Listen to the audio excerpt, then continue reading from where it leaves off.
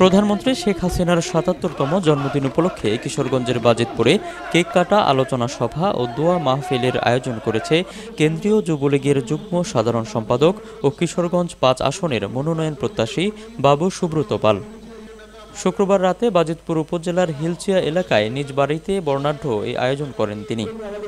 আয়োজনে বক্তব্য দেন জেলা যুবলীগের সভাপতি পদপ্রার্থী বাসির উদ্দিন রিপন, কেন্দ্রীয় যুবলীগের সহ সম্পাদক আতাউর রহমান উজ্জ্বল, সাবেক সদস্য শাখাওয়াত হোসেন আরকান, জেলা যুবলীগ নেতা দেলোয়ার হোসেন, মাহবুবুর রশিদ শর্মিন, নিকলি সদর ইউপি চেয়ারম্যান কারার শাহরিয়ার আহমেদ তুলিপ, হিলচিয়া ইউপি চেয়ারম্যান মাজারুল হক নাহিদ সহ আরও অনেকে।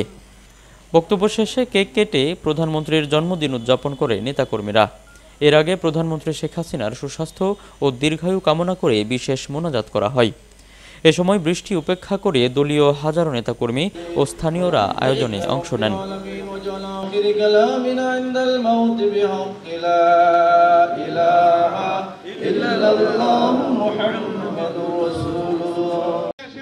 BD channel four, desk report.